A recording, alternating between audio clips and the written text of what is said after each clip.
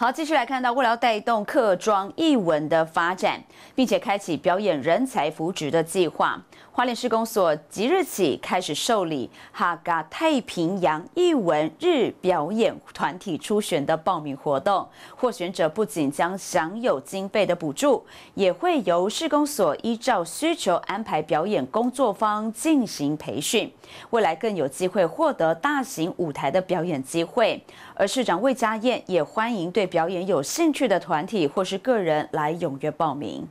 希望呢，能够透过呢，为了带动客庄艺文发展，并开启表演人才扶持计划，花莲市公所从即日起开始受理哈嘎太平洋艺文日表演团体初选报名活动。获奖者不仅享有经费补助，也会由市公所依需求安排表演工作坊进行培训，未来更有机会获得大型舞台的表演机会。是希望我们不管是个人还是我们团体的一些英文工作者哈。都能够在今天的一个报名活动，希望你们来报名。那未来在很多的，不管是在经费的补助，或者是在团体的表演，或者是我们帮大家找寻一个舞台后，我们都希望能够将我们所有的艺艺文团体哦，能够推展在舞台的前面后。所以我非常谢谢花莲市公所有这样子的，呃，推动客家的一个工作力哈，让花莲的客家在我们。全花莲北区来发展。那希望呃往后在我们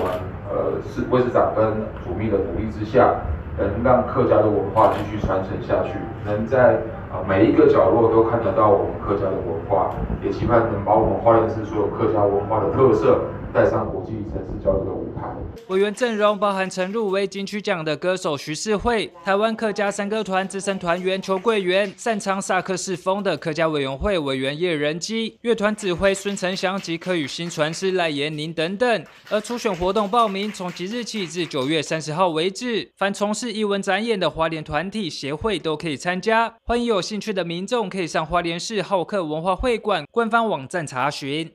记者徐立琴，花莲市报道。